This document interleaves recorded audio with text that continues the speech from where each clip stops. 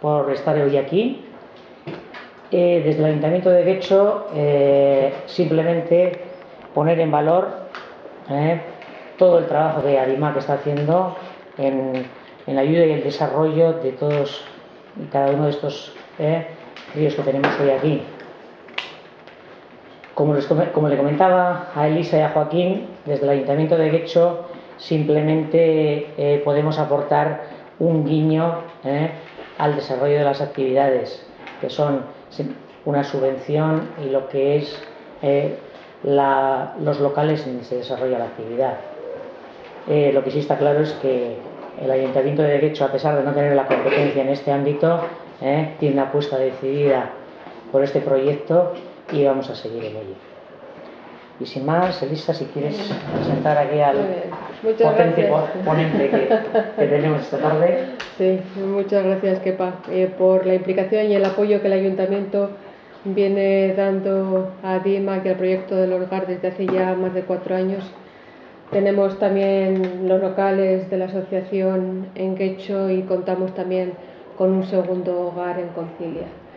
Eh, hoy no van a poder asistir a una sesión habitual del hogar, Hoy va a ser un poco distinto. Hoy es una sesión especial. ¿no? Eh, las sesiones especiales consisten en que un experto en, una materia viene y nos transmite su saber, tanto como nosotros seamos capaces de captar. ¿no? Agradecemos muy sinceramente a Joaquín Castilla, investigador, investigador principal de distintos proyectos, eh, que nos hablará de clonación de individuos. Eh, la clonación humana la dejamos para siguientes ocasiones y así también tenemos la ocasión de contar con tu presencia. Esto es porque sabéis que hablamos de clonación humana en, el primer mensaje y nos corrigió, era clonación de individuos. también. también. Eh, disponemos del currículum de Joaquín Castilla, son 20 páginas, quien tenga la curiosidad de ver en qué investigaciones ha trabajado, las publicaciones que tiene. Yo lo he traído y lo dejo aquí a vuestra disposición. Eh, de todo eso, la, selección que he hecho de cosas igual no es la más oportuna, pero bueno, es la que yo he hecho. ¿no? Eh, es titulado en farmacia por la Universidad de Navarra es licenciado en Medicina por la Universidad Complutense de Madrid, es doctor en Ciencias Biológicas por la Universidad Complutense de Madrid también. Joaquín Castilla es actualmente profesor de investigación de Ikerbas y lleva más de 14 años trabajando en el área de los priones, concretamente estudiando los mecanismos moleculares que están implicados en su replicación in vitro e in vivo, así como en el diseño de modelos biológicos basados en bioensayos transgénicos en el desarrollo de nuevas terapias. Yo después de decir esto paso a, presentarle como, yo quería presentarle, porque no quiero que sea una coletilla, pero ya ha habido quien me han permitido tener el orgullo de decir el doctor Joaquín Castilla, un amigo. Pues muchas gracias Elisa, que el la posibilidad de estar aquí con todos vosotros. Como sabéis, voy a, voy a hablaros de, clonación de individuos, en la que bueno, es inevitable que al final hablemos de clonación humana. Eh, me gustaría que fuera dinámica la, la, charla, es decir, que si alguien quiere preguntar, eh, no, no tengáis ningún problema en, en. Yo creo que la mejor forma de empezar el, hablando de clonación es preguntándonos que, ¿qué es lo que consideráis que es clonar? ¿Alguien se atreve a decirme qué es clonar? Y vaya. Es coger unas cuantas moléculas y juntarlas para, para copiar a otra persona. O para otra cosa. ¿No? Dime no tiene que ser persona, tiene que ser otra cosa cualquier otra cosa. Vamos a ver lo que nos dice, lo mejor cuando uno tiene dudas de este estilo, lo mejor es ir a la, a la definición de la Real Academia de la Lengua y nos encontramos como siempre que nos, siempre nos, quedamos un poco necesitados de ir más allá. Clonar es producir clones. La siguiente pregunta es, ¿qué es un clon? Y la misma Real Academia de la Lengua nos dice que clon es un conjunto de células u organismos, hablaremos luego lo que es una célula, eh, genéticamente idénticos, que también intentaré explicar el concepto de genéticamente, que se origina por reproducción asexual todos conocemos la reproducción asexual por, porque es la que nos ha llevado aquí. Un padre y una madre que da lugar a uno o a varios hijos. Es la reproducción sexual. La reproducción sexual. La asexual es la que no se necesita de dos padres para el desarrollo de un individuo, a partir de una única célula organismo. Si vamos al, a la genética, nos encontramos una definición muy parecida. El conjunto de individuos, de nuevo, genéticamente idénticos, que descienden de un mismo individuo por mecanismos, de nuevo, de reproducción asexual. Pues bien, ¿cómo aplicamos este, esta definición a los seres vivos? Lo primero que nos damos cuenta es que la naturaleza no para de clonar. Y yo creo que la siguiente foto os lo va a dejar muy claro. Que levante la mano quien piensa que estos dos individuos, dos ranas, son clones. Uno. Muy bien. Dos. Tres, cuatro, Ahora que me diga quién, que levante la mano quien piensa que estos son clones. Uno, dos, tres, cuatro, cinco. Bien. Lo que hemos hecho realmente es asociar el concepto de clon a, a dos individuos que se parecen. El concepto de clon va mucho más allá. Esa identidad, nosotros cuando vemos estas dos fotos, eh, la estamos eh, lo que hacemos es utilizar la, visión, una, posición eh, morfológica, es decir, la forma, esto no hay ninguna duda que se parecen, las dos ranas se parecían, y por eso hemos pensado que podrían ser clones. Sin embargo, si vamos más allá, a un, a un individuo, a los seres humanos que conocemos mejor, y vemos estas dos niñas, seguro que hay más manos que se levantan si os pregunto si estos dos son clones. ¿Cuántos creen que estos dos individuos son clones? Bueno, seguimos con cierta incertidumbre. Bien. Estos sí que son clones. Los dos anteriores no eran clones. La razón es que estos son dos gemelos idénticos, también llamados univitelinos. Y los gemelos que nacen de, esa forma se pueden considerar en el concepto general clones. Dime. ¿Qué es univitelino? Univitelino es que nacen de la misma bolsa. Es decir, es eh, una madre que tiene dos individuos en la misma bolsa y la forma en la que se ha producido les ha llevado a ser idénticos. Por eso se llaman gemelos idénticos o univitelinos. Estoy seguro que Lesuri me va a contestar una pregunta muy sencilla. Estos, si yo te digo que nacieron a la vez de la misma madre, ¿cómo les llamarías?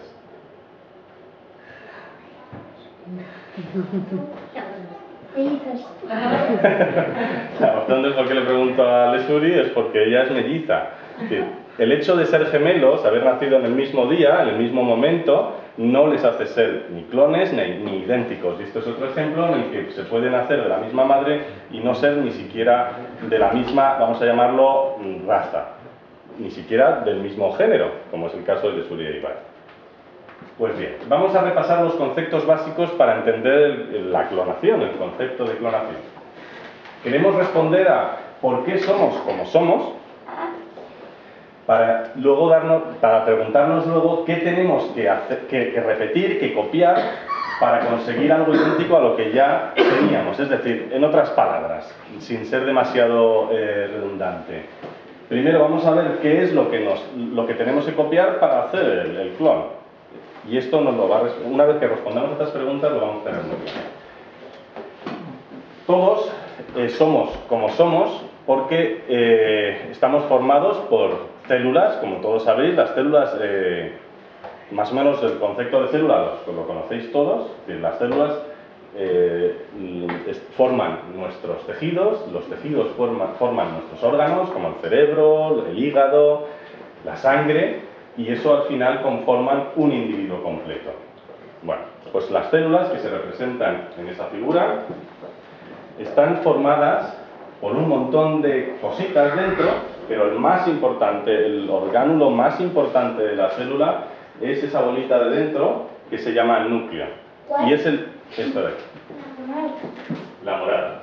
Esto de aquí también se representa en azul. Y esto se le llama núcleo y es la parte más importante de toda la charla. Volvamos a hablar mucho del núcleo. ¿Y por qué es importante? Es importante porque contiene una cosa que se llama cromosomas, que se caracteriza, además de contener el ADN, también llamado DNA, que se acepta en español, contiene toda la información de cómo somos.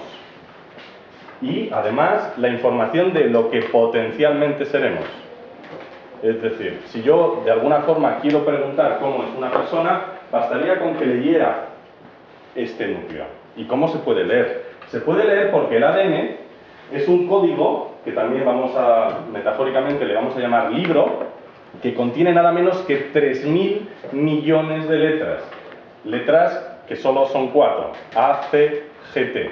Y la organización de estas cuatro letras, dispuestas a lo largo de 3.000 millones de letras, forman, se agrupan en genes, que serían como los capítulos del libro, y se empaquetan, se meten todas en este núcleo. De tal forma que si yo cogiera el núcleo de cualquiera de vuestras células, ya sea de una, célula del cerebro, neurona, o una célula de vuestra sangre, tendría la misma información. Podría leer ese libro de 3.000 millones de letras y me estaría diciendo cómo sois vosotros y lo que potencialmente seréis. Por tanto, si yo quiero clonar, si yo quiero copiar a un individuo, bastaría con coger la información que tenemos en el núcleo de cualquiera de las células de nuestro organismo. Y ahora vamos a hablar de dos células importantes, muy importantes. El óvulo, que es la célula que únicamente se produce en el, género femenino, en, las hembras o en las mujeres, en el caso de los seres, de los seres humanos, y el embrión, que puede ser desde una célula a muchas células. Y estas dos, estos dos conceptos son básicos para que entendáis la clonación. ¿Dime? Son casi iguales. Son casi iguales, pero la diferencia es que este viene de una sola, de un solo individuo de femenino y el embrión viene de la suma de un individuo masculino y un individuo femenino.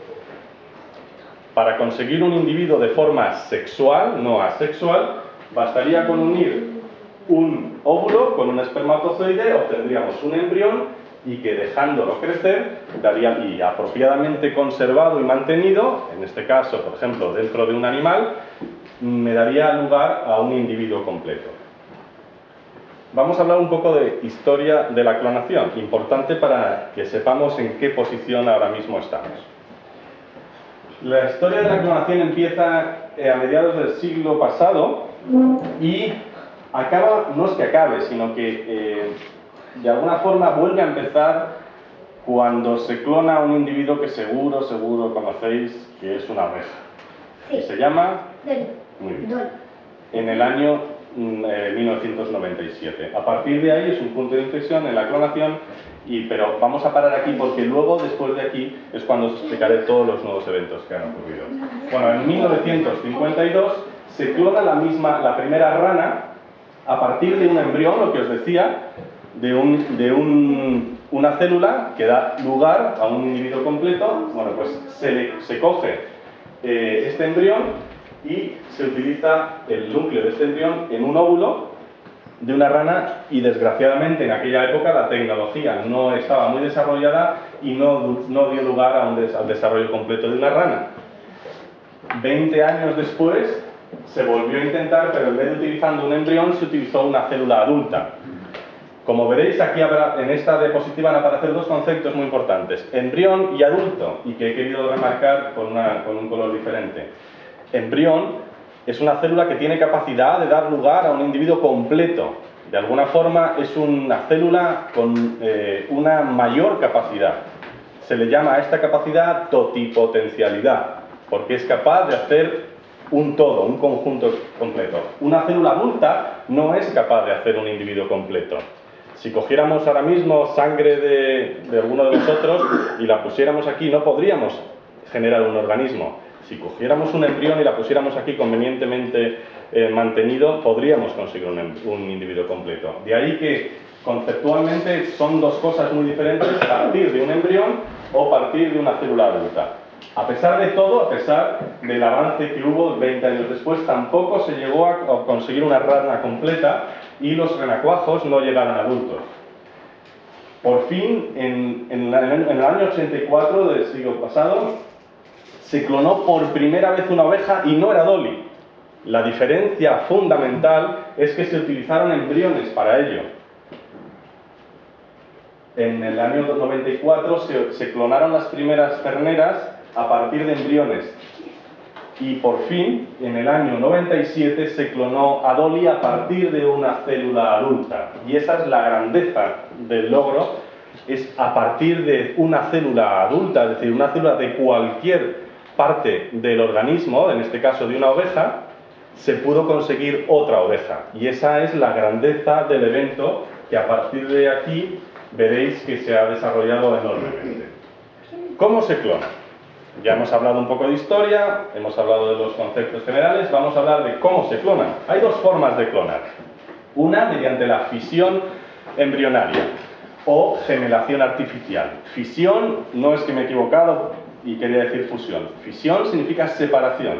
Separación embrionaria, que la palabra gemelación me está diciendo algo así como que producir gemelos de forma artificial. La otra forma es mediante la sustitución nuclear. Ambas las vamos a explicar y creo que os va a quedar bastante claro. Son muy importantes para que entendáis cómo es el proceso de clonación.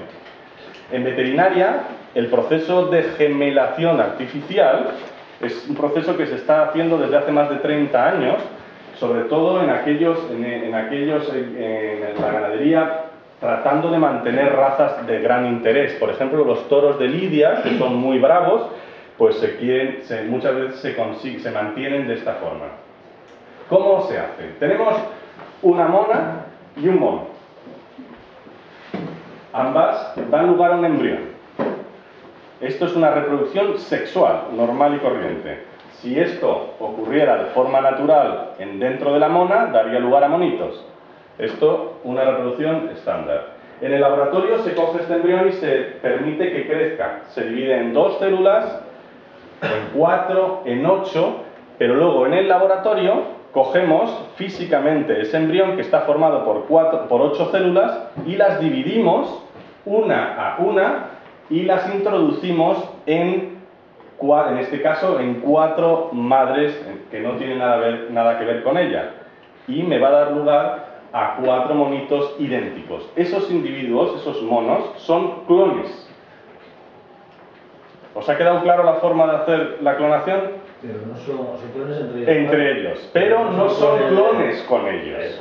¿Vale? Aquí se pierde la, identidad del que dona el embrión en este caso. Pero es mucho más cómodo producir cuatro individuos exactos de esta forma que tener que producirlos de la otra forma. Y viene la sustitución nuclear. Y es el primer ejemplo en el que tenemos esta técnica eh, funcionando es la generación de Dolly. Tenemos aquí a la madre de Dolly, que ella dona una célula adulta. En este caso particular, donó una célula de la glándula mamaria de, de, su, de, ella, de su madre.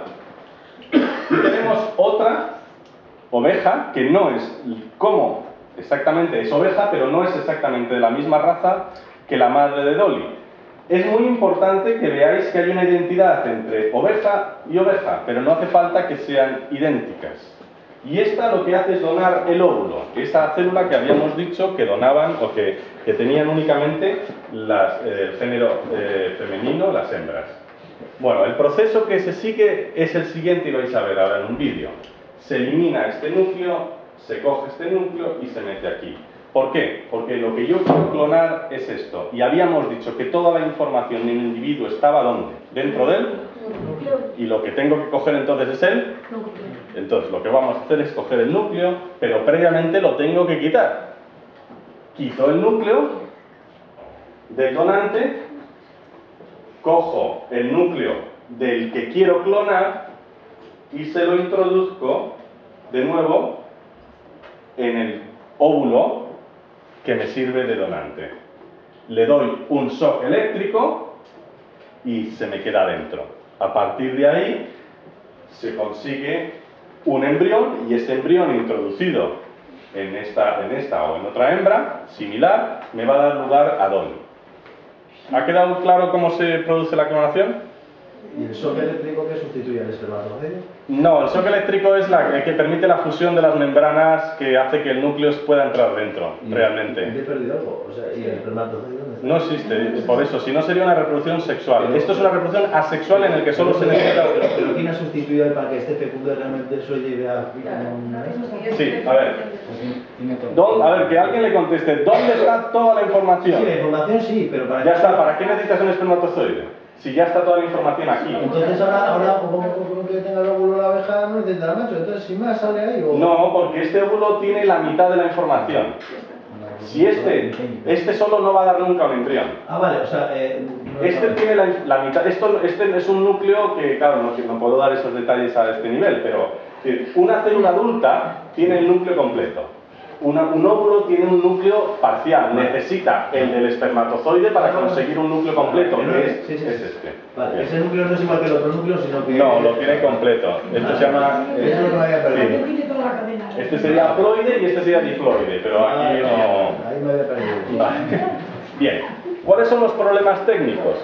Pues algo que seguramente lo vais a, eh, lo podríais eh, imaginar, y es que conservar este material genético, este, este núcleo, estas células que contienen el, núcleo, es muy importante. Y aquí vamos a encontrar serios problemas que, generan problemas prácticos.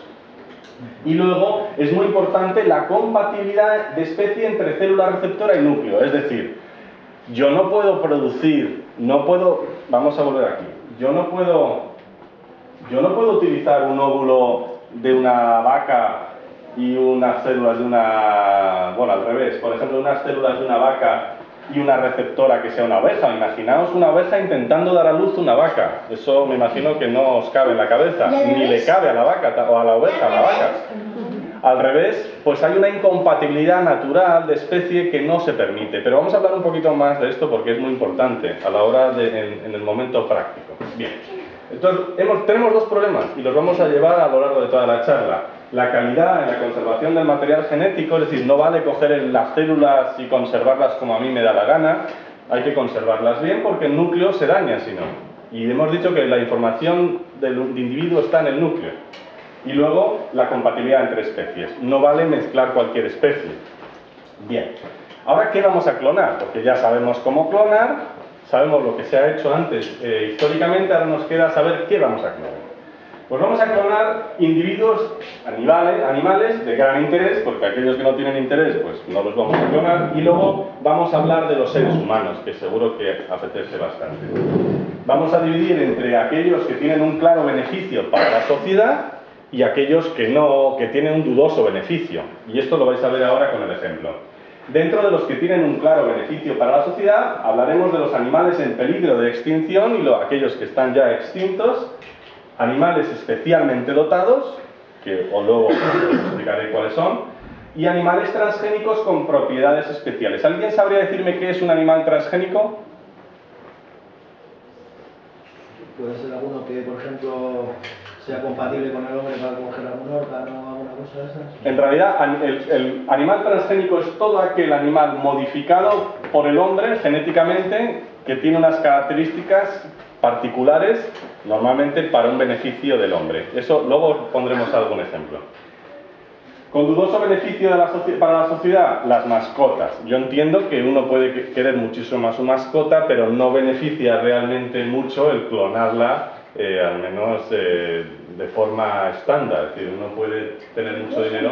Bueno, pues vamos a hablar de los animales en, en peligro de extinción. Y tenemos el primer caso en el 2001, donde se clonó un gaur, que seguramente no sabíais lo que era. Sí, tú sí. Bueno, vale, pues un gaur es un bisonte indio. ¿Vale? Allí está. Lo que se hizo es utilizar una vaca que se llamaba Bessie y se le quitó un núcleo de un gaur que estaba vivo, se le metió en un óvulo de una vaca que se llamaba Bessie y se trasladó y se introdujo dentro de la vaca que se llamaba Bessie.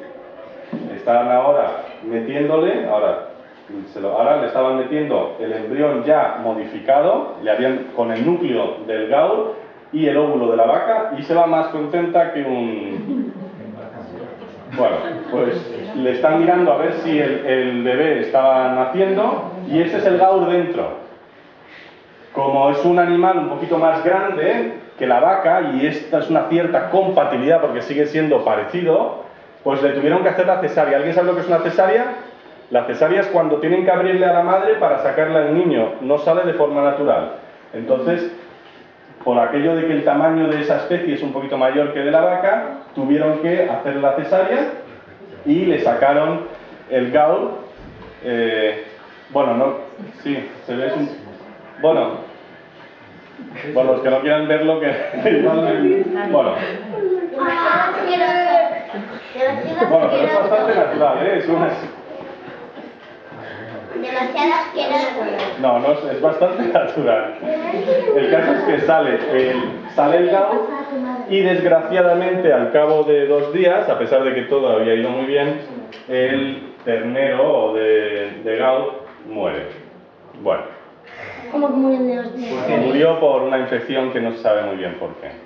De todas formas, fue el primer caso en el que una, una, especie daba lugar al nacimiento de otra especie. Eso nunca había ocurrido en la historia de la humanidad. Es decir, un mono da un mono, una vaca da una vaca, pero aquí una vaca dio otra especie que era un gaucho.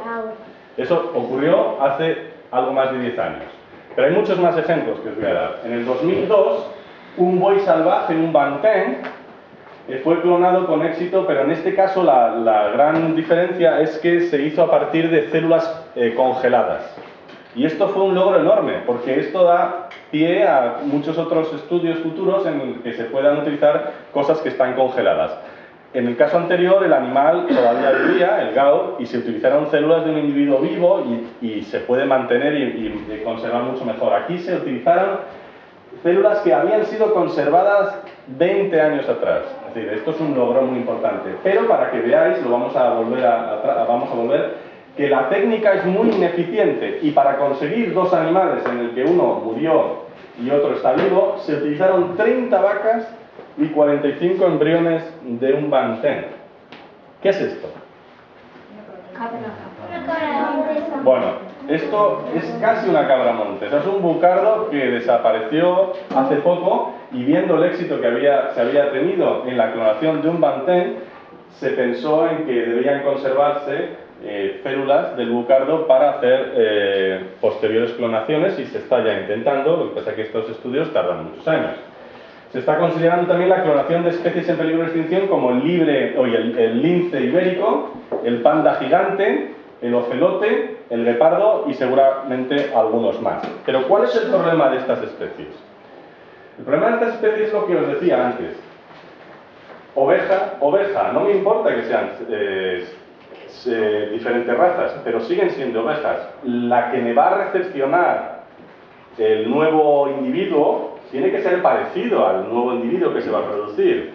Un bantén, vaca, un gaur, vaca, son especies muy parecidas. Pero ¿qué hacemos cuando tenemos un lince ibérico y necesitamos un lince receptor? No podemos utilizar un lince ibérico porque no hay. Hay muy pocos linces ibéricos y menos hembras. Y menos hembras que puedan donar óvulos. Total, que no puedo utilizar el mismo animal. Tengo que utilizar un animal parecido y tengo que encontrarlo que sea. Imaginaos que cojo un gato. Sabéis que el lince es muy grande pues no podría, ¿no? un gato nunca iba a poder tener un lince. Por eso necesitan, se necesita linces boreales para hacerlo de, receptores para linces ibéricos. Y eso es un proceso que está en marcha. ¿Pero qué hacemos? Sí. Una pregunta. Sí. Eso se supone que luego es para ponerlos en libertad y para repoblar la, la zona. Sí. ¿Luego no habría problemas de consanguinidad a la hora de estás entre ellos? Sí, te, no te voy a responder ahora, te lo respondo luego. Ah, te hago anotación de tu pregunta y lo voy a comentar como uno de los grandes problemas de la clonación. Vale. Entonces, ya hemos visto que esto lo hemos solucionado. Un lince ibérico se puede utilizar un lince boreal para, eh, en el que serían, harían de receptora. Pero ¿qué pasa con un panda gigante? ¿Quién me hace de receptor? Cuando es muy difícil conseguir un oso. ¿Un panda normal? Un panda normal, el panda, el panda gigante, el panda normal es el panda rojo, ¿no? Que es muy chiquitín. Bueno, pues estos son los problemas prácticos que ocurren en la clonación de este tipo de, de especies en vías de, o peligro de, de extinción o los extintos.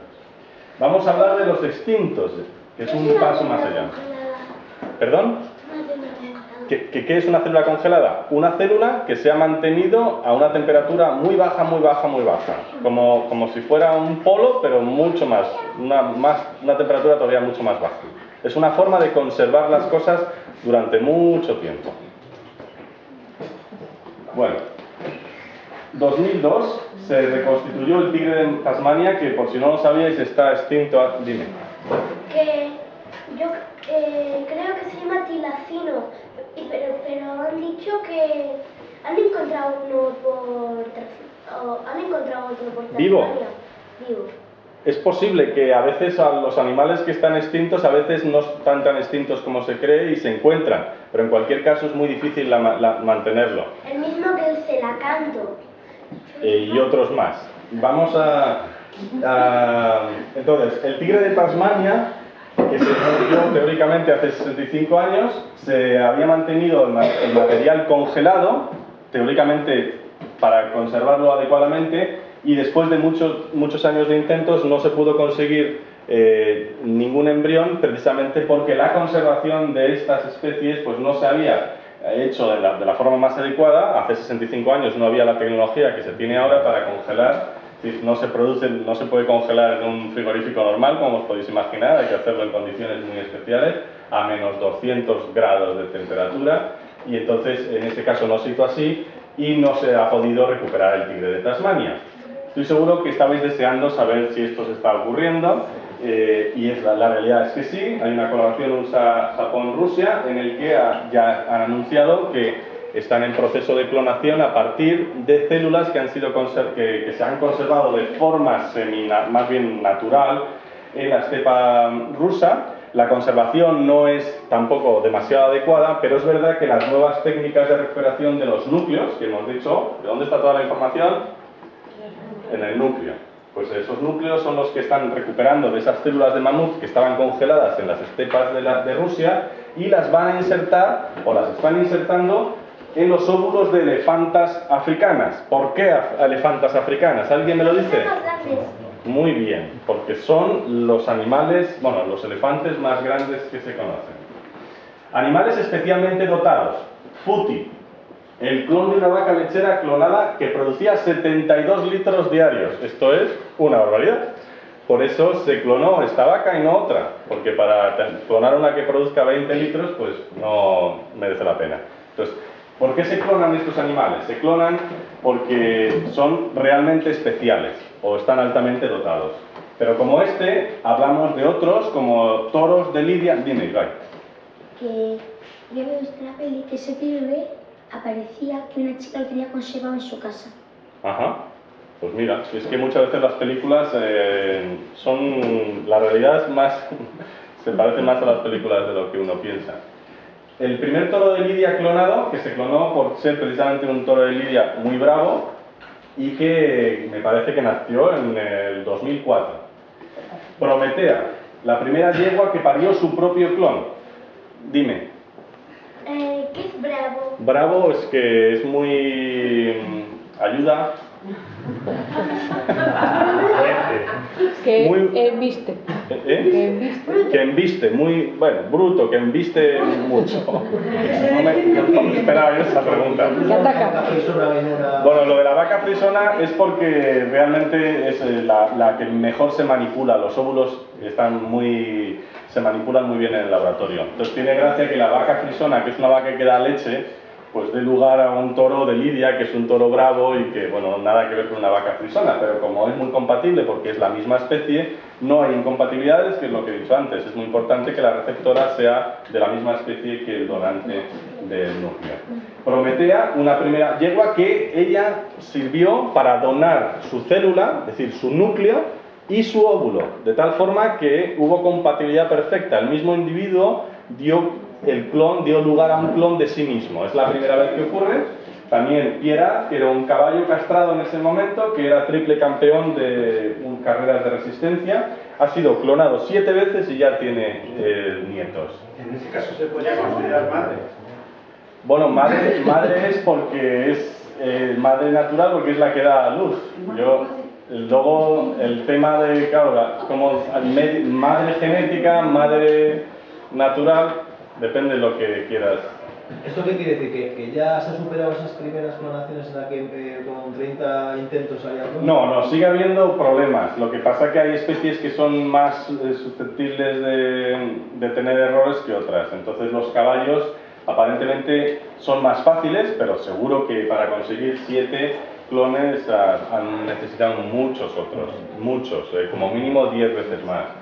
Eh, y INHAD, que es el primer dromedario que se clonó en el mundo, y así podríamos seguir. Vamos a ir a los animales transgénicos. Los animales transgénicos son aquellos animales que están modificados genéticamente para hacer algo. Algo. Vamos a, de forma general, hacen algo que suele ser, suele ser útil para la sociedad.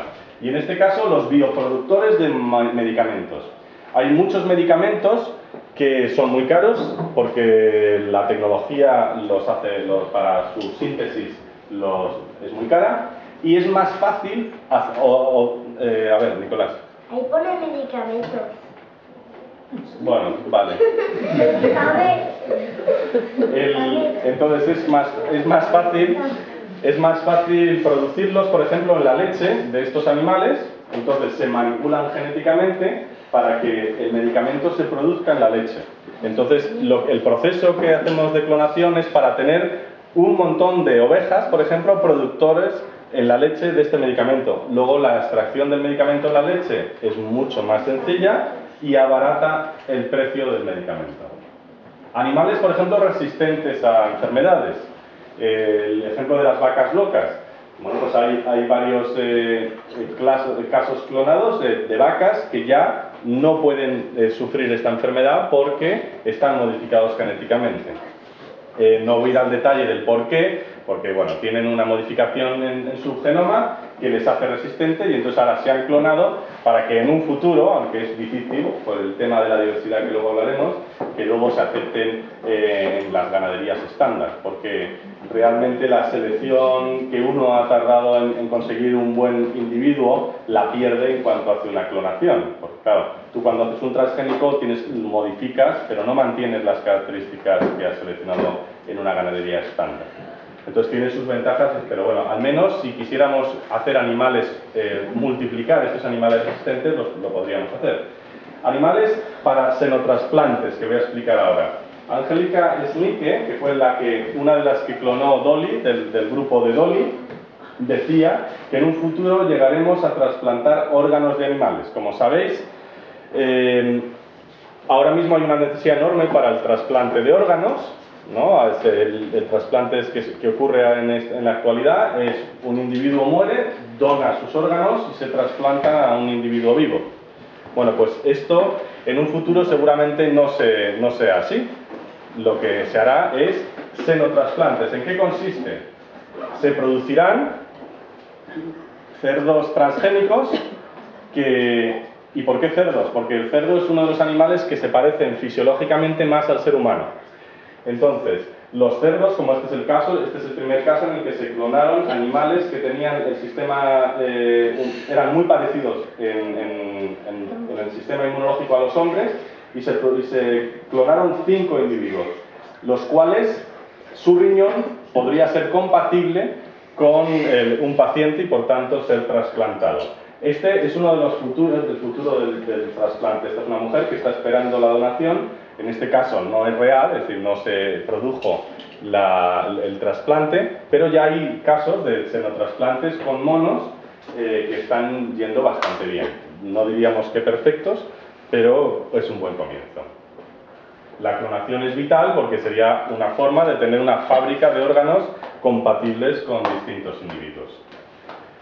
Animales con propiedades especiales como eh, animales con gran valor científico. Esto, bueno, en este caso es un animal que a la luz ultravioleta da un color verde. Esto que podéis pensar que no tiene una gran utilidad, y sí que tiene utilidad en, estudios científicos cuando ese color verde te detecta, por ejemplo, eh, una patología como el cáncer. Entonces, eh, un, ratones, por ejemplo, que se detecta el cáncer que tienen simplemente poniéndolos a la luz ultravioleta y, da color verde. Entonces estos animales también se clonan porque tienen un alto valor científico. Como os, os comento esto, existen muchos otros animales transgénicos con un gran valor que también se clonan. Esto sería muy interesante, la clonación de una vaca que diera chocolate con leche. Y no digamos esta, y no digamos este, que sería dar mucho juego en tu jardín, ¿no? El canguro de Bracala. Ambos dos no existen, pero bueno, da una idea de hasta dónde podríamos llegar. Mascotas. Esta es la parte en la que habló de las cosas que son dudosas eh, en cuanto a beneficio para la sociedad. Tenemos el primer... Ibai.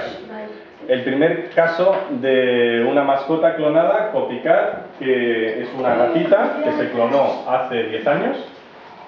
Y luego esto ya quisieron rizar un poco el rizo y clonaron un gato que, como el caso del ratón, brillaba eh, con luz ultravioleta, daba un color... Bueno, esto es más que nada porque quisieron demostrar yo lo veo un poco absurdo y de ahí que diga que es un poco es de dudoso beneficio para la sociedad, pero bueno, un poco para que veáis lo que se ha llegado a hacer. Eh, Snoopy fue también el primer perro afgano que se clonó y está en un proceso de clonación también. Track, que fue un pastor alemán que como estuvo ayudando para retirar supervivientes en, en lo de la caída de las Torres Gemelas, pues pensaron que era uno de los perros más heroicos de Estados Unidos y están en proceso de, su clonación. Seres humanos. La clonación reproductiva o experimental está prohibida en casi todos los países del mundo. En donde no está prohibida es porque no hay leyes que lo prohíban, no porque se permita. Lo único que ¿Y qué es la clonación reproductiva? Es lo más sencillo de la clonación. Es coger un embrión que está formado por varias células, físicamente separarlas y dejar que cada una de estas células, que son idénticas, den lugar a otros tantos embriones y de ahí a individuos completos. Esto está prohibido, así como está permitido desde hace más de 30 años en animales, en humanos no está permitido. La clonación terapéutica sí que está permitida y esa es la que quiero que os quede claro. Está permitida en España desde el 2000, no me acuerdo, del 2003 me parece, hace casi 10 años, o 7, no me acuerdo si es 3 o 7. Está permitida en casi todos los países de Europa. ¿En qué consiste la clonación terapéutica? Pues muy parecido a lo que os he comentado de la oveja Dolly. Un hombre o una mujer da, cede una célula que contiene un núcleo completo que es donde está toda la información del individuo. Una mujer da un óvulo, se le retira el núcleo del óvulo, se introduce el núcleo que es donde está toda la información y se consigue un embrión completo. Ese embrión no se lleva a ninguna receptora, y esa es la gran diferencia, y por tanto no se genera ningún individuo completo este embrión se reprograma, se le dice usted, embrión, tiene que en vez de ser un individuo completo, tiene que ser un riñón, o tiene que ser un músculo, o tiene que ser un hígado para posteriormente ser trasplantado. O tiene que ser usted una neurona para, por ejemplo, ayudar en la recuperación de la enfermedad de Parkinson o la enfermedad de Alzheimer o tiene que ser, un páncreas para solucionar un problema de diabetes. la idea es restituir un tejido u órgano a partir de células del mismo individuo. De ahí que no tendríamos, en un futuro, no tendremos ningún problema de eh, órganos. ¿Que necesito un órgano? Doy una célula, la célula la junto con un óvulo, hago un embrión y ese embrión hago un, necesito un hígado, hago un hígado. ¿Cuál es el problema? Bueno, otro ejemplo importante que es muy práctico y es la generación de células madres para la recuperación de tejidos y órganos dañados. Y esto lo vais a ver muy bien con un ejemplo. Tenemos una, rata a la que se le ha seccionado la médula. ¿Alguien sabe lo que es la médula espinal? La médula es lo que tenemos dentro de la columna vertebral. Eh, está llena de una cosa que se llama la columna vertebral que permite el, el que podamos andar. Al tenerla seccionada por aquí, la rata no puede andar. Está parapléjica o casi tetrapléjica, vamos a decir parapléjica, es decir, no puede mover las piernas. Es como esos Esas personas que tienen accidentes y se quedan en sillas de ruedas, ¿vale? ¿Por qué? Porque este, este es el cerebro, esta es la médula espinal, lo que hay dentro de la columna vertebral. Y veis que ahí hay un hueco donde señala la flecha. Bueno, por el mecanismo que os he dicho antes, en vez de producir un hígado, lo que yo puedo producir son células madre, que las introduzco en esa zona y produzco una recuperación completa de esa zona. Como veis ahora, la rata ya no cojea. Bueno, cojea, pero menos. Ya no está parapléjica. Esto, como veis, es un avance terriblemente positivo para la sociedad. Objeciones éticas de la clonación terapéutica. Se requieren muchos intentos antes de alcanzar el éxito. Y de ahí que, eh, bueno, pues como se, es necesario, aquí es el ejemplo de, para, en este caso de animales, para conseguir dos animales, uno enfermo y otro vivo, se necesitaron 30 vacas y 45 embriones. Y además, siempre se necesita el llegar a un embrión. Y eso es lo que éticamente no todo el mundo aprueba. Porque ese embrión, al tener capacidad para generar un individuo completo, pues hay gente que considera que no se le puede dañar. Y si yo necesito muchos intentos para conseguir al final un órgano, estoy dañando muchas potencialidades de seres humanos. ¿Cómo se consigue un órgano a partir de un embrión? Eh, se hace por reprogramación celular. Es decir, el embrión, como tiene capacidad de ser cualquier cosa, lo que le digo es que sea, eh, por ejemplo, células de patocitos. ¿eh? Bueno, esa es la parte. Es decir, ahora mismo no se está haciendo como tal, se están haciendo intentos de piel, por ejemplo, porque.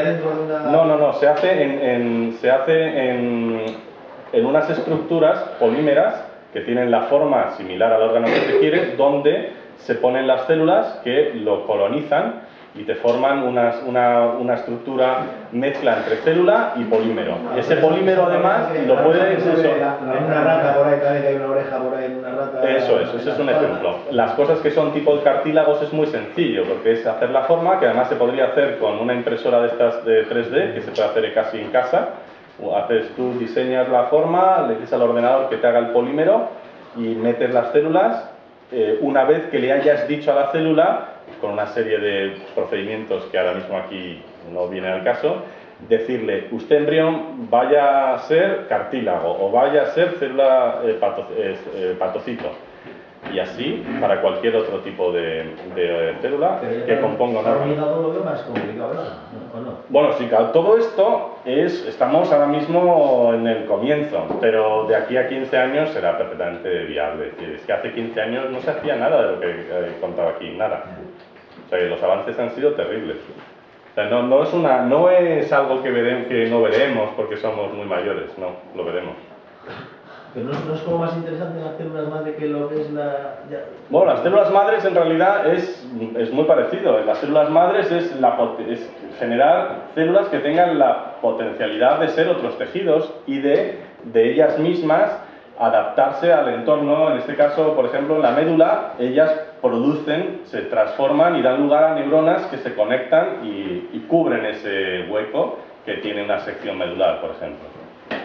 Pero sí, está, está todo muy relacionado. ¿eh? Como más, más barato y más sencillo. Porque la, la, célula madre tiene la capacidad de ser otro... Sí, eh, pues, eh, la célula madre es un embrión. Un embrión es una célula madre. Por eso yo hablar de células madres es como hablar de embriones. ¿eh? Ah, los clones, a tener en cuenta que los clones realmente no existen. Y esto he estado diciendo antes que existían continuamente, pero la realidad en, su estricto no, no existen porque no toda la información está en el núcleo. A veces hay cosas en la célula que, que se pierden cuando solo retiras el núcleo, pero eso son ya para afinar. Luego hay modificaciones genéticas que se sufren a lo largo de la vida y hemos dicho que todo el contenido de, que son, de cómo somos está dentro del núcleo pero no es lo mismo una célula de, la piel que una célula de hígado, porque la célula de la piel está sometida, por ejemplo, a los rayos ultravioletas diarios, a las vitaminas, a tóxicos del día a día, y eso hace que el núcleo esté dañado. Y, al cogerlos, al final alteras el núcleo y por tanto puede ocurrir que los individuos estén, que, obtengas a partir de ese núcleo también estén alterados. Y luego es muy importante que la clonación no, no clona nunca ni el pensamiento, ni la historia vivida, ni el carácter formado. Clona fisiología. ¿Cómo? Es decir, solo... Será solo teoría, no lo han probado todavía. No sé, en, los, los, animales... No, sí, porque una, porque una, una mascota te aseguro que no te recuerda. Tú puedes clonar a tu mascota que te quería muchísimo y cada vez que te veía te, se lanzaba a ti. Cuando lo clones, ese ya no te va a recordar. Pero, pero, pero la capacidad. La capacidad para volver a recordarte, y etcétera. Sí. para aprender lo mismo que aprende la otra, vamos. Sí, por eso se clona la potencialidad. Pero como, deje como tenga otro dueño, el individuo será diferente. Clonar lleva a la pérdida de diversidad, es un poco antidarwinista en el sentido de que los cruces, es decir, lo, cuando yo clono hago individuos idénticos. Nosotros estamos aquí todos gracias a que nos hemos estado cruzando y nuestros padres se han estado cruzando. La diversidad es básica para la mejora, para una visión darwinista de la vida. Por eso la clonación va en contra de eso. Y es verdad que podemos mantener los individuos, eh, recuperar animales extintos, pero vamos a recuperar animales que no van a tener diversidad a no ser que se nos ocurra algo para generarla, que también es posible. O sea, que también hay que estar abierto a que esa diversidad también se pueda de alguna forma manipular de forma artificial, como la naturaleza hace. Es decir, no, no hay que también estar cerrados a que no se pueda nunca conseguir diversidad de forma artificial. Y luego, esto es importante porque el reloj biológico no se para. Nosotros cuando nacemos empezamos a morir tenemos una fecha límite, que unos la tienen a los 30 años, otros a los 100 y otros a los 120. La mayoría a los 80. Y es porque nuestras células, nada más dividirse, pierden la capacidad de volver a dividirse de un, poquito al menos. Cuanto más se dividen, más pierden esa capacidad. Y eso se le llama el reloj biológico. Cuando yo tomo una célula, de una célula un núcleo, esa información, también la tomo tomo la información del, reloj que ha pasado esa vida, esa, célula. Y por tanto, si no reprogramo correctamente ese núcleo, estoy metiendo un núcleo viejo, de tal forma que el individuo nace con una edad de alguna forma marcada. Esto no está claro, porque solo se ha hecho con animales, y es difícil hacer estos estudios. A no ser que sea el cordón umbilical. Eh, es importante tener células del cordón umbilical porque así no, no tienes que utilizar luego células adultas, viejas, pasadas por una etapa mm, larga de tu vida. Es mejor mantener algo bien conservado y, y, joven. De acuerdo que es mejor tener células del cordón umbilical. Y las últimas consideraciones importantes a tener en cuenta todos. Todos los descubrimientos y avances científicos deben ponerse al servicio de la sociedad, todos, sin excepción, y su utilización someterse a las consideraciones éticas. No todo lo que se descubre es bueno y por tanto, o, no lo sabríamos manejar y por tanto la sociedad debe controlarlo verificando si debe ser o no ético. En el caso de que se dude del adecuado control de ese descubrimiento, dar un tiempo a la sociedad hasta que esté preparado. Por ejemplo, nuestra sociedad actual, esa es mi consideración, mi opinión personal, está preparada para dar soluciones a través de la clonación, pero es pronto para saber si estamos preparados para todas las posibilidades que la técnica nos proporciona. Yo esta pregunta la hago a vosotros. ¿Estamos preparados para traer al planeta Tierra especies extinguidas que pudieran incluso ser más inteligentes que la especie humana? Por ejemplo, esta. ¿Vosotros traeríais a esta especie al planeta Tierra? ¿Qué especie es esta? Esta especie es un neandertal, es un Homo neanderthalensis. A que parece muy mono. Parece un mono. Bueno, muy, parece muy simpático. Bueno, pues así se convierten cuando son mayores. Entonces, ¿estamos preparados, esta sociedad, a traer este tipo de especie para compartir el planeta con ello? O especies que no sabríamos cómo controlar y aquí se termina. No. Gracias. Ah, Gracias.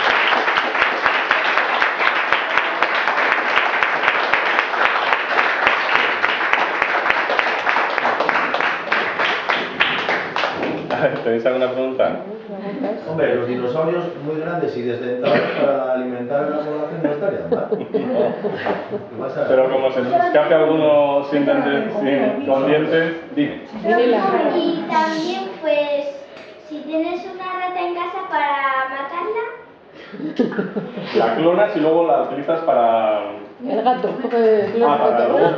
Para No, me refiero a los dinosaurios que Ah. los puedes usar para matar Bueno, parece una, una metodología complicada y cara, ¿eh? La escoba de siempre, ¿no? Sí, dime. Al dinosaurio. Sí. Ya, ya te aviso, Antes cuando hagamos uno ya te aviso para ver si me lo adiestra. Antes te mata. Pero en el tema de los- del Neandertal quizás sea más viable que los dinosaurios, porque estuvieron hace menos tiempo. Porque si les costaba con un bicho que está recientemente extinto clonarlo, pues imagínate con 60 millones de años, no sé cuánto. tiempo. Sí, vamos a ver, eh, si nos olvidamos de la técnica, porque estoy seguro que lo que tengamos en técnica, en cuestión de técnica dentro de 50 años, no se va a parecer nada a lo que tenemos ahora. Es decir, hace, hace 20 años, cuando empecé yo a hacer los primeros animales transgénicos, eh, y lo que se hace ahora es que no se parece en nada. Es decir, la tecnología ha cambiado tanto que yo ahora pienso que dentro de 20 años es que vamos a ser capaces de que, que el núcleo está dañado o mal conservado, pues le cortamos, le pegamos. Es increíble lo que ha avanzado la tecnología al respecto. Es decir, la tecnología nos lo va a permitir. La pregunta es, ¿estamos preparados para eso? La pregunta no sea muchas veces ¿para qué? Bueno, pues el, y para qué responde al, claro, muchas veces, Si se ha extinguido será por algo también, muchas veces. cierto. Pero Es una igual, selección igual, natural. igual clonar ese tipo de animales no, pero el tema de las células madre yo lo veo de primera necesidad. Ah, no, sí, pero eso ya se está haciendo y se ha aceptado y la sociedad legalmente lo permite, Pero a pesar aceptado de... toda la sociedad. No, pero tampoco acepta la... es decir, os recuerdo que la primera bebé probeta me parece que ha cumplido ahora 40 años eh, y en aquella época no se aceptaba y todavía la iglesia no lo acepta. Entonces ahí... ¿eh? Y ahí tenemos dos niños que seguro que hay más, pero Mi hija, ¿no? por eso entonces... Yo creo que la sociedad en ese sentido, bueno, pues se va adaptando y lo que no sé si siempre se adapta bien. ¿Cómo cambian las leyes y vuelven para atrás? A veces, a veces, sí. Hombre, el Neandertal se estaba, se estaba insinuando que querían. Sí, técnicamente es complicado, ¿eh? porque no hay, no hay nada bien conservado todavía que se haya visto. Entonces, bueno, pues habrá que hacer...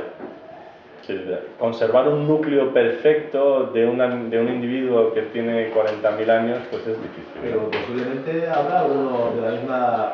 cat- Como el mamut ese, habrá Sí, pero congelados no hay. ¿Seguro? Bueno, no se ha visto, no, no, congelados no de congelados no no, no por ahí. encontrado. El desgraciado de Italia tenía unos años, ¿no? Era más reciente. Sí, ese tenía, pues, creo que 2.000, 5.000 o algo, eso no es, eso no eso es un humano, eso es humano. Eso es un viejo. Dime. ¿Por qué hace falta Jurassic Park? Pues para que todos recordemos la película. Ah, vale. Igual, igual alguien no la ha visto. ¿Qué, qué formas de control tendría la sociedad que para sea, ante la clonación humana? Porque aunque se supone que está prohibida, hay muchas cosas que están prohibidas y ya sabemos. Hombre, hacer esto requiere un dinero y un espacio y una, una metodología y una tecnología muy grande como para hacerlo en cualquier sitio. Es decir, no se puede hacer en la casa, en el patio de Pero- una casa. Pero tanta como una. La tecnología nuclear que también algunos la están haciendo Corea. ¿no? Sí, es- no se podría descartar que hubiera países en los que no haya esta reglamentación o esta legislación y que se esté intentando. Y de hecho, en el 2003 ya salió un individuo diciendo que lo había intentado. Salió. Bueno, era un personaje que no se sabe si se quiso un poco dar publicidad y dijo que lo había intentado. Lo hizo fuera de Europa, me parece que era un país asiático en el que no había leyes en contra. No es que haya una ley a favor, simplemente al no haber leyes, pues nadie te puede decir nada. Son, son países en que la legislación no está tan desarrollada y no lo controlan todo. Entonces, bueno, no podemos descartar que se dé. El problema es que para llegar a, la clonación de un individuo completo humano se va a tener que destruir mucha vida completa. Vamos a tener que hacer, vamos a decirlo por ser un poco eh, amarillo, se va a tener que hacer muchos monstruos para conseguir el primero. Y eso no sé si la sociedad debe aceptarlo. Una pregunta al respecto de cuando comentabas de la célula que si la cogías ya tenía una edad. Cuando donamos un espermatozoide también tiene una edad, ¿o no? Eh, los espermatozoides tienen una... Me refiero, me refiero a que también están en, un, en, una edad nuestra en la que también podríamos estar transmitiéndola o no. No exactamente. Los espermatozoides tienen un núcleo que está desprogramado. Nace, está como, tiene, bueno, técnicamente se le llama, está desmetil, no está metilado. En cuanto se produce el embrión empieza el proceso de metilación, empieza a madurar. Y en esa maduración es la que le hace empezar todo el proceso de ser reloj biológico. Los espermatozoides no.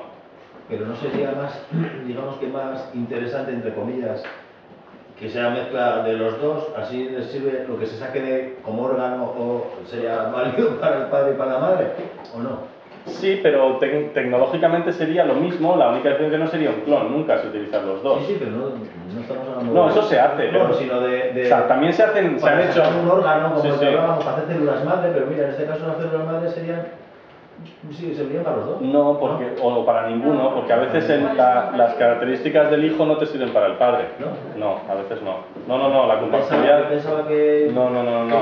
Las no. madres eran compatibles 100% con el Ah, no, no, no, no, no, no, no, es, es, es habitual que un padre o una madre, pero, pero es muy raro que sean los dos. Uno, uno de los dos seguro. No, no, no, tampoco, tampoco. tampoco. Es la probabilidad del cruce, es decir, cuando nos cruzamos hay un porcentaje, que se- un trocito de aquí que se va aquí, otro de aquí a aquí, y al final se hace una mezcla. Por eso cuando repetimos nos salen dos niños completamente ¿Pero diferentes. siempre es un 50% o no? No, no, no, no. ¿Puede ser no. un 90-10? Nada, mira, si vemos a Lesuri y a Ibai, Igual de aspecto. un día se cogió mucho del, de, de Leire y otro día se cogió de, de Edu. O sea que, no, no, eso es precisamente porque la recombinación que se llama, que se produce al unirse los dos núcleos, es aleatoria y entonces una vez de una forma, entonces tienes 3.000 millones de letras para unirte. Pues fíjate si no puedes hacer variaciones. O sea que, lo- el- incluso el 50% es lo más improbable. O sea, cualquier Ah, cifra es probable. No, lo que pasa que lo que pasa que las compatibilidades no tienen que ser enteras, tienen que ser solo parciales. Y entonces en esa parcialidad es cuando es fácil encontrar compatibilidades incluso más del 50%, porque no tienes que casar todo. Se pueden hacer y se han hecho ya hace mucho tiempo eh, individuos eh, hembra y macho a partir de dos machos. Se cogen dos espermatozoides, un óvulo, y, se- y con los dos espermatozoides se puede conseguir una hembra y un macho. Sabes que las hembras son XX y, las hembras, y, y los machos son XY, pues con dos machos se puede conseguir... Pero al revés igual no. ¿Eh? Al revés ya no. Al revés no se puede conseguir machos, porque las hembras son XX. Eh, pero un dinosaurio podría estar en Jurassic Park. Porque en podrían la- engañarle con... Cuando vas a Jurassic Park hay como... eh, mm, son como... Esto... Marionetas de dinosaurios eh, que son parecidas a los dinosaurios como creemos que eran. Entonces los dinosaurios, si alguno no era muy listo, muy listo podría pensar que es, es eh, un dinosaurio Jurassic Park, aunque sea como una, sea como una marioneta, podri- podría pensar que era un dinosaurio de verdad y que es así eh, como si estuviera con los de su. Pues sí, es lo que diría un dinosaurio clonado cuando vi- viera uno de esos que, que ha hecho Spielberg, que es el director de la película. Diría, bueno, este se parece a mí. Una cosa, cuando, cuando no por lo que has contado, por ejemplo, de eh, ahora un este, de el ratón, ¿no? Eh, en un corte de médula, pero si cogemos una, el núcleo de una célula e intentamos eh, corregir una enfermedad que pueda ser genética, eh, al hacerlo no vamos a reproducir la misma enfermedad. Bueno, pero muchas veces, eh, vamos a ver, las, imaginémonos que, que tenemos una enfermedad genética que produce, pensando, la fibrosis quística es un problema pulmonar. En ese caso, lo que haríamos es una reparación previa a la introducción de esas células. Es decir, mm, por ejemplo, las, eh, las hay, una, hay una enfermedad que bueno, pues no puedes respirar bien porque te falta una serie de cosas en las células de los pulmones. Entonces se cogería unas células madres a partir de ese individuo, se llevarían al laboratorio, se harían que esas células ahora produjeran lo que no producían de forma natural y se volverían a introducir. Y eso, es decir, se puede recuperar errores eh, en el laboratorio. ¿Y eso cambia todo el sistema de todas las células eh, haciendo...? Lo que, al introducir, eh, lo que introduce son células madre, esas células madres si se, se adaptan al, al, nuevo sistema, en este caso al pulmonar, empezarían a producir células maduras hasta repoblar todo el, todo el pulmón. Eso sobre todo funciona muy bien para las del sistema inmunológico. Es decir, nosotros tenemos glóbulos rojos, glóbulos blancos de muchos tipos, podríamos quitarnos todos los glóbulos eh, que tenemos y todos los rojos y blancos y con que nos metieran células madres que, que produjeran de nuevo células, eh, glóbulos blancos y rojos nos repoblarían otra vez todas las células de la sangre. Esto es un proceso lento, pero se podría conseguir. Entonces, por ejemplo, incluso se podría curar leucemias destruyendo completamente todas las células que están enfermas con cáncer de leucemia y repoblarlas con unas células madres que poco a poco iban a producir las, ya las nuevas células bien. ¿Los clones tienen reproducción sexual? Una vez que ya son normales, sí. David. Igual que con el caballo se hizo que donó su célula adulta y su propio óvulo y tuvo su clon, ¿por qué no se hace lo mismo con los animales en peligro de extinción? Muy buena pregunta. Eh, la razón es porque la recuperación de un óvulo en, en, animales como el caballo es fácil, pero recuperar óvulos de animales eh, de este estilo, como un lince, un panda gigante, es muy complicado. Son animales que no son fáciles de manejar y de recuperar eh, estos óvulos que son células que son muy, muy difíciles de manejar en, el laboratorio. pero teóricamente es la única solución que tendrían estos animales que no pudiéramos encontrar una receptora, como es el caso del oso panda si no encontramos a quién, quién le cabe un oso panda dentro. Has dicho un oso, pero un oso polar. Bueno, el oso panda es mucho más grande. No, no son, no, no, son especies completamente diferentes. Ese es el problema. Y la compatibilidad no. Entonces yo creo que lo que propone él es muy bueno, pero es difícil en la práctica, porque conseguir óvulos de un panda y luego todo el proceso que funcione. ¿Es más difícil que es más caro? ¿Intentar mantenerles vivos a estos o.? Tenemos turnos de palabras. Fernando, perdona, que tenemos turnos de palabras anteriores. Eh, unas primero. primero. Eh, si un, si un, oh, si, un, si una de esas cosas se guarda, se guarda mal, se mantiene congelado mal, podría, podría salir un animal, por ejemplo, con dos cabezas.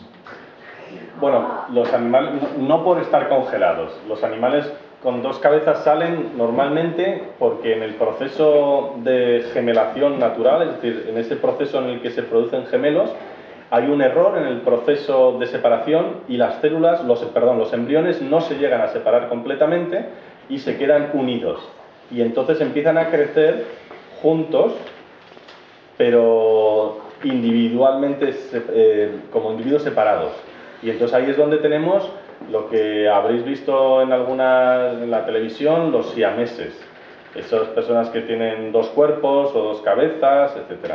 Pero no por el proceso de congelación, sino es un proceso de una mala fisión de los embriones. Pablo. Eh, un lagarto que puede ser como un dinosaurio, Un dinosaurio a partir de un lagarto. Bueno, eh, a la hora de, conseguir dinosaurios tendríamos que plantearnos quién sería un buen receptor, pero pensad que los dinosaurios muchos se reproducían por huevos, con lo cual ahí lo íbamos a tener más fácil. ¿Más fácil o más Bueno, no sé, la verdad es que no me lo planteaba. es que no llegaba, ya, ya había parado ya aquí. Yo creo que a partir de aquí ya, ya, ya había pensado que lo de los huevos ya me ha superado. Me había dicho que se podía clonar, por ejemplo, hemos dicho, el, un hígado, se podría reproducir. Eh, por ejemplo, en otro ámbito, por ejemplo, una extremidad. Sí, sí. Eh, bueno, como, ¿cómo se implantaría? Ah, una extremidad. Eso no se ha, no se ha hecho todavía. Se han, se han hecho estudios eh, con, en especies que desarrollan una extremidad completamente como las lagartijas y todo esto, y todavía no se ha visto eh, que eso se pueda reproducir en mamíferos, por ejemplo. Se puede hacer piel, se puede hacer músculo y a partir de ahí diseñar. se pueden hacer virguerías, ¿eh?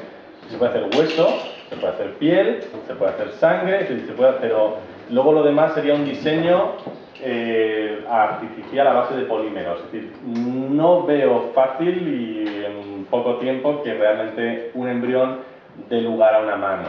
Es decir, yo lo veo complicado por ahora, muy complicado. En, el caso de enfermedades eh, genéticas, o sea, en el caso de que una persona haya desarrollado un cáncer porque se sabe que tiene un gen alterado, eh, con la técnica de las células madres se podría curar a esa persona, pero el gen se vería estando alterado. Va a depender muchísimo de qué tipo de, de problema genético tiene esa persona, dónde lo tiene y el tipo de enfermedad. Generalizar es muy difícil porque, por ejemplo, un Alzheimer temprano como consecuencia de una alteración genética es muy complicado porque estaríamos hablando de eh, cambiar las neuronas y hasta este momento pues es una cosa absolutamente inviable.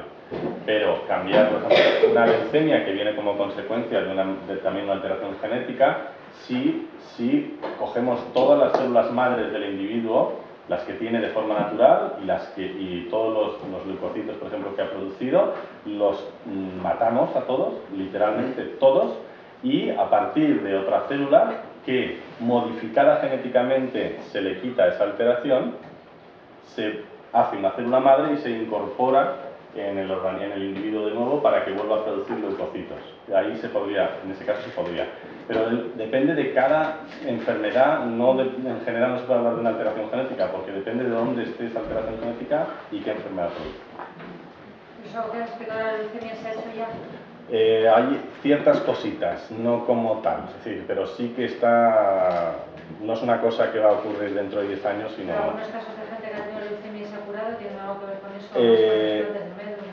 Sí, es que ese es un ejemplo, es decir, el trasplante de médula está relacionado realmente, pero son, en este caso hay un trasplante de médula con modificación, porque a veces eh, buscan compatibilidad gemelar, es decir, no, no, habéis oído a veces que se ha tenido un niño para conseguir pues eso es porque en vez de hacerlo del propio individuo, célula madre y de ahí luego volvérsela a meter, lo que hacen es coger células madres de su hermano que es idéntico, por ejemplo, o muy parecido.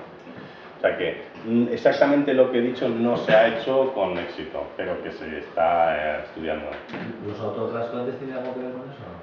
Eh, los autotrasplantes en general no, porque no va a través de, una, de las células madres pero bueno, el proceso sí que al final te autotrasplanta. Antes en las diapositivas has sacado unas vacas que les habían ya quitado el mal de las vacas locas, que era imposible que lo cogieran. Eso mismo no se puede trasladar a, los que padecen este el sueño. Pero es que tendríamos que hacer individuos, serían clonación humana. Sería clonación humana entero, o sea, no. Claro. Ese no, eso no se podría hacer con animales, sí. Además, en ese trabajo he colaborado, hemos colaborado nosotros. Pero no se puede hacer más que en animales. Eh, no sé, eh, si queda alguna pregunta más. Eh, si no, mientras. Inela, Inela. Pero si se pudiera clonar a una persona, se podría. No se podría eh, que se juntaran un animal y una persona? No, no, hay una limitación de, entre, de cruzamiento entre especies que nos, que nos permite precisamente que la naturaleza no, no, pueda, no valga todo. Es decir, un animal y una persona no se pueden cruzar y dar un otro individuo eh, viable. Ni siquiera algo muy parecido.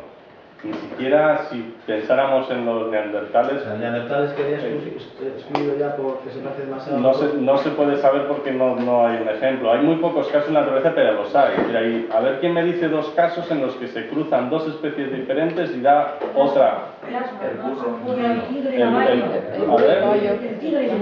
El tigre y el león que dan tigrón y el león y el tigre que dan ligrón. No, el ligre, el ligre y el tigrón el asno con un caballo que da la mula Normalmente estos individuos son estériles, pero no siempre, porque hay excepciones y a veces se consigue cruzarlos.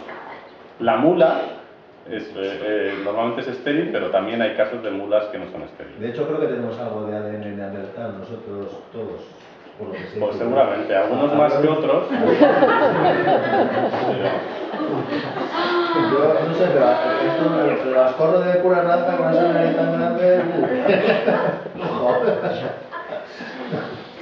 Eh, quienes, un momentín, Nela, que- quienes seguís estando interesados en el tema de la genética que despierta tanta, tanta pasión, ¿no?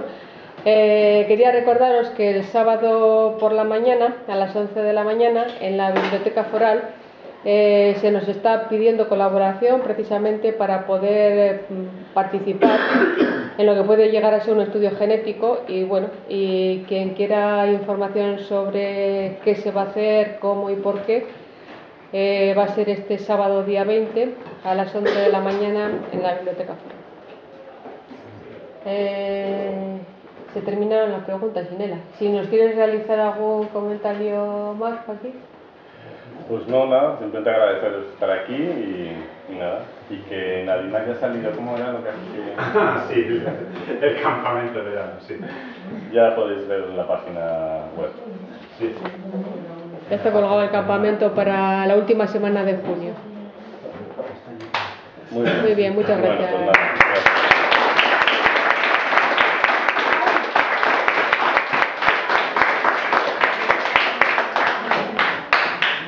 Que quiera ver currículum, aquí está.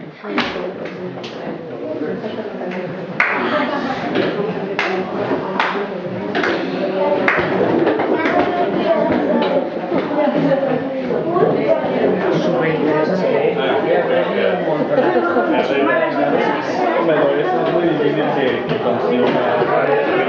No, pero me ha dado